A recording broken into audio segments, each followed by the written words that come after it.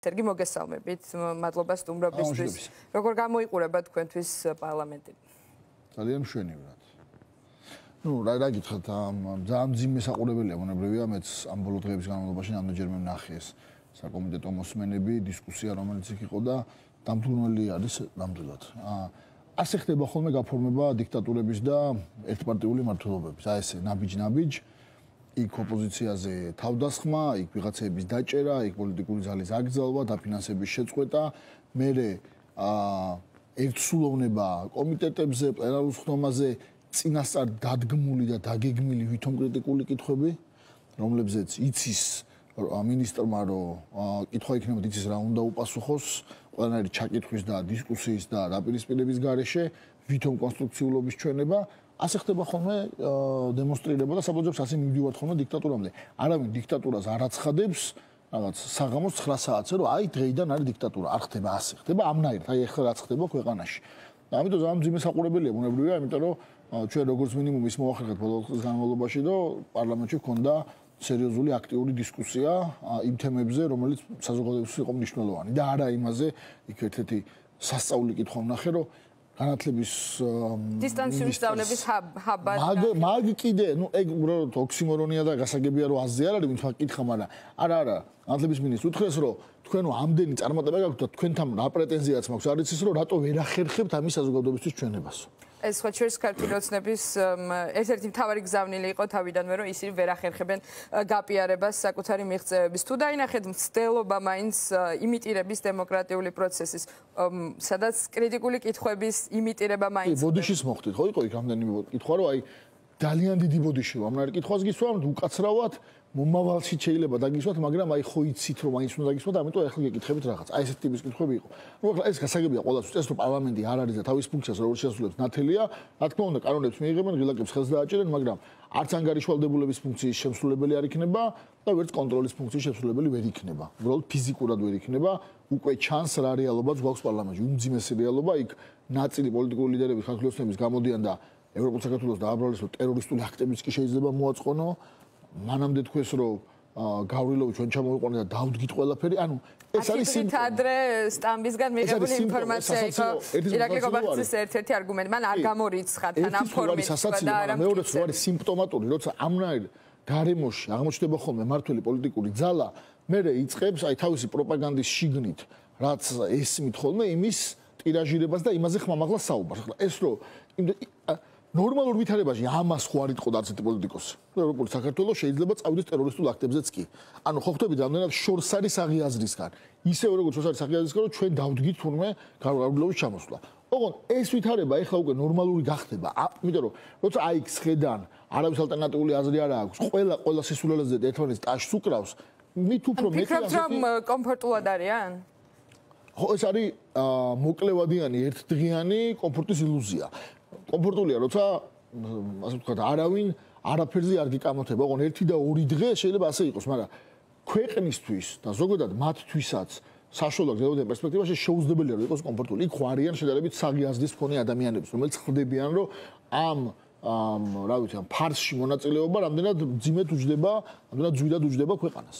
ვინ არიან და რამდენი გეგულებათ ესე? ხოდა შორის აი ხლა რამდენიმე კომენტარიც იყო ქართულოსნების წევრების, რომლებიც ამბობდნენ, რომ აი მათ მართლა ეთყობათ კიდეც, რომ რატის მართლა გულწრფელად აწუხებს, რომ არავინ არ არის ალტერნატიული აზრის თქმელი. ოღონდ მათო პრობლემა ისაა, რომ ესენი არ იღებენ გადაწყვეტილებას, ხო ეს ადამიანები.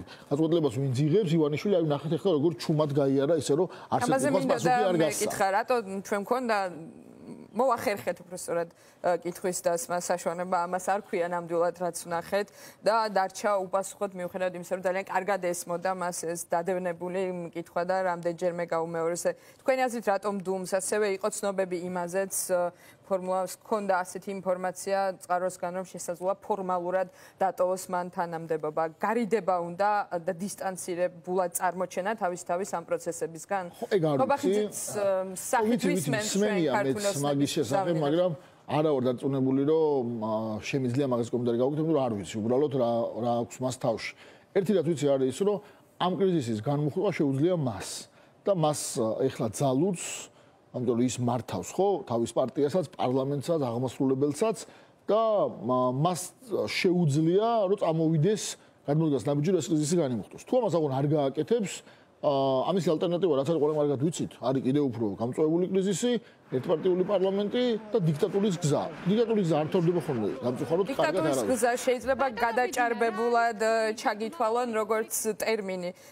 ავტორიტარიზმის ნიშნებზე და მის შესახებაც საუბრობს ოპოზიცია დიდი ხანია. დიქტატურა კიდევ უფრო ახო, ოღონდ ისე არის. კაცრი პოლიტიკური შეფასება არის. რა არის? რა არის განსხვავება? ნახეთ, პოლიტიკურ ოპონენტებს თუ დევნი და იჭერ. პოლიტიკურ პარტიებს თუ რეგისტრაციას უხსნი, პოლიტიკურ პარტიებს თუ ფუნქციონირებას ხელს უშლი და ფინანსებს აღარ აძლევ. თუ პარლამენტი გაქვს ერთპარტიული არჩევნებს თუ აყალბებ. მარტო შენი ერთი პარტია თუ არის მართველი ძალა. თუ აგოტროლებ აღმასრულებელს სასამართლოს შეტევა გაქვს თავისუფალ მედიაზე და არასამთავრობო ორგანიზაციებზე და დიქტატურა აბა რა არის? და მესამე ვადით მოიპარე არჩევნები და დარჩი ხელისუფლებაში. აბა დიქტატურა მაინც და მაინც დინასტიულად კი არ გადაიცემა. დიქტატურა არის ეგ, ხო, როდესაც ერთი ადამიანი ამყარებს დიქტატს სხვადასხვა მიმართულებით და მე არ ვამბობ, რომ ეხლა უკვე შედგა, ოღონ ძალიან ღრმად არის შესული ამ გზაზე. გასდის? როგორ ფიქრობ? გას ჯერჯერობით გასდის, ოღონ გაუვა თუ არა ეგ არის კითხვა, ხო? ანუ გასდის ეხო მარტივი არის, ნებისმიერმა შეიძლება გადაწყვეტოს დიქტატურის გზაზე დადგომა. ეგ ხო, მათ გასდის არ არის სწორი კითხვა, იმიტომ რომ თუ გადაწყევი და ამ გზას დაადგება. ამდენად გაუვა ეგ არის ხო, სწორი კითხვა. ჯერჯერობით ფაქტია, რომ არ გასდის ის, რომ ვერ მიიღო ლეგიტიმაცია ერთპარტიული გაყალბებული არჩევნების შედეგად შექმნილი პარლამენტის. ფაქტი არის, რომ მისი პოპულარობა არ გაზრდილა ამ ნაბიჯების შედეგად და ის ზარალდება დარწმუნებული ვარ. ფაქტი არის, რომ კრიზისებს ის ვერ მართავს და ჯანდაცვით დაწყებული ეკონომიკა, პოლიტიკური კრიზისები ერთმანეთზე დაეხუნძლა და ქვეყანას უკვე სერიოზულ პრობლემას უქმნის, ხო? ამიტომ მაგრამ ჩვენი ამოცანა ამ შემთხვევაში მას რა უნდა კი არა, ჩვენი ამოცანა არის, რომ მაქსიმალურად ხელი შეუშალოთ ამაში. ეს მეხუთე რაუნდის ყბადაღებულიც მეხუთე რაუნდი ერთ-ერთი ინსტრუმენტია მანდუბრალო. თუ თუ თუ ჩანს რაიმე ნიშნები ან რა იქნებოდა თქვენი პროგნოზი რომ ამ ეტაპზე თქვენი აზრით აქვთ თუ არა მზაობა რომ მოვიდნენ ჯერ არ ჩანს რომ მზაობა აქვთ ჯერ არ ჩანს თუ აი ამ დღეებს გამოიყენებენ ახალწამდე და წამოვლენ ამ შეთანხმებაზე რომელიც ახალი არჩევნების ირგვლივ უნდა იყოს, მაგრამ უნდა მოიცავდეს ასევე რა თქმა უნდა საარჩევნო სისტემასაც, უნდა მოიცავდეს პოლიტიკური პატიმრების თემას. მაშინ რა თქმა უნდა ეს განმუხტავს კრიზისს და ახალი წელი, ახალი პოლიტიკური სეზონი დაიწყება უფრო პოზიტიური ნოტითაც კარგი იქნება ყველასთვის და უფრო მეტი დრო იქნება და საშუალება რომ კონცენტრირდეთ გნებავთ ეკონომიკაზე, გნებავთ ჯანდაცვაზე და უფრო ასე ვთქვათ ხალხისთვის მნიშვნელოვან თემებზე. მაგრამ თუ ამას არ გააკეთებს, ამ თემაზე დაბრუნება მოუწევს ყოველთვის, იმიტომ რომ ეს მოთხოვნა ოპოზიციური პარტიების არ შეიცვლება, ასე დარჩება და შემდეგი წლებში გვექნება ძალიან აქტიური კამპანია, გვექნება აქტიური კარდაკარი, გვექნება გაზდის ზუსტად მაგიდან მკითხეთ ოპოზიციის მიმართაც გვესმის ხოლმე კრიტიკა, რომ ის არ არის ზოგჯერ საკმარისად მობილიზებული, ან პროტესტის კუთხით საპროტესტო ტალღა არ აღმოჩნდა იმ ხელა იმ პრობლემების ფონზე, რაც თქვენ ჩამოთვალეთ. აი ამ ამ კრიტიკას საპროტესტო ტალღის არარსებობა მე არ გონია რომ მაინც და მაინც ვინ მეზბრალი იყოს, ალბათ უფრო კოვიდთან დაკავშირებული რეალობის ბრალია და არა იმის რომ ან საზოგადოებაში ბრაზი არ არის, ან სხვა პრობლემები არ აწუხებთ, კონკრეტული გარემოებებია, რომელსაც იყენებს სათავისოდ ხელისუფლება, ოღონდ ეს გარემოებები არის წარმავალ ეს მუდმივად ასე არ იქნება, ხო?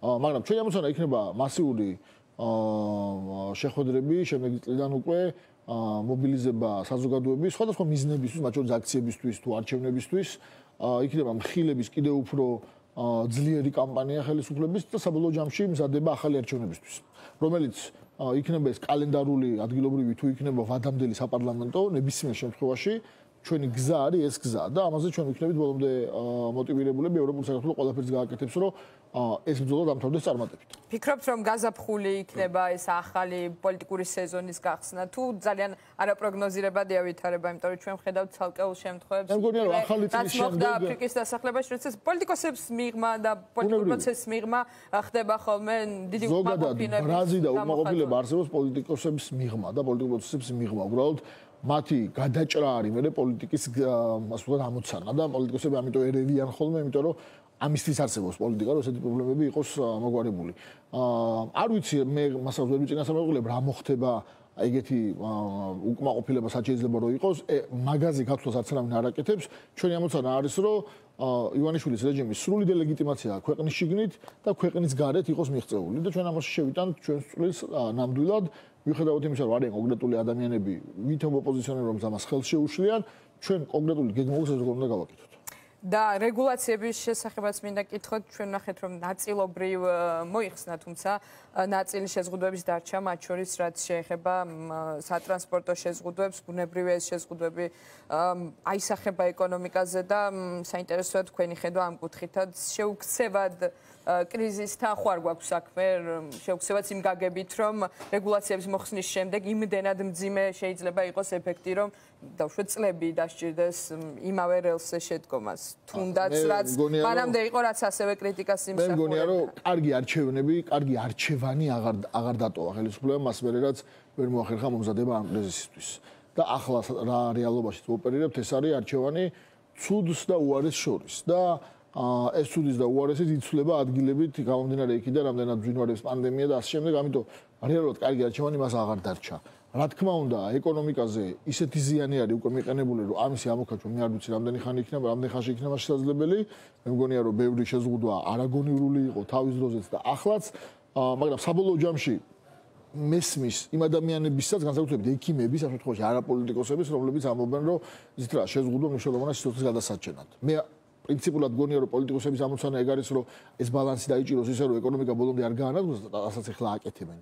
მაგრამ ნუ ამას ვერ აკეთებენ უკვე ჩანს. ამიტომ კიდე ერთხელ თელი თავიდანვე ამ პრობლემის არის ის, რომ აქამდე არ უნდა მოსულიყავით. ახლა უკვე არჩევნა არჩევანი სხვადასხვა ვარიანტებს შორის ძალიან ძალიან მძიმე. ცხადი არის თუ არა თქვენთვის ინდიკატორები რა შემთხვევაში გაიხსნება ქვეყანა? დაახლოებითი წარმოდგენა გვაქვს. არა, ის არ არის ცხადი. არ უცხო არის ცხადი, არც ინდიკატორები არ არის ცხადი, არც ვაქცინაციაზე რა ხდება, ეგ არ არის ცხადი. ჩვენ გვესმის ერთი მხრივ რომ რაღაც ვაქცინები იქნება მალე შეძენილი, მეორე მხრივ მოვისმინეთ სხვა საკმაოდ გავლენიანი და ისეთი ეპიდემიოლოგიის კან რომელსაც რომელსაც ვენდობით ხოლმე, რომლებიც ამბობენ რომ ეს ვაქცინები სამწუხაროდ მალე ვერ იქნება ჩვენთან შემოსული და გაუგებარია საერთოდ რა ვაქცინის ყიდვას აპირებენ. ამაზე არანაირი ინფორმაცია არ არის ხო საზოგადოებაში. მაშინაც წაყვანო ხელნებო უკვე დაიწყეს ვაქცინაციები, ამიტომ ბევრი კითხვა არსებობს, რომელზეც პასუხები არ არის. ხო შორის ამ მოსმენებზეც პარლამენტში ეს თავარი კითხვები არის. მე არ წარმომიდგენია ნორმალურ საზოგადოებაში, რომ ეს არ ყოფილიყო თავარი საკითხავი ნემაჯანატის მინისტრთან და ნებოთ სხვა მინისტრებთან მზაობა. ეკი ჩიაქეს კიდეც დღეს შეანაცვლეს. ხო, და იყო პირიქით, აბსოლუტურად სულ სხვა რამეზე იყო საუბარი.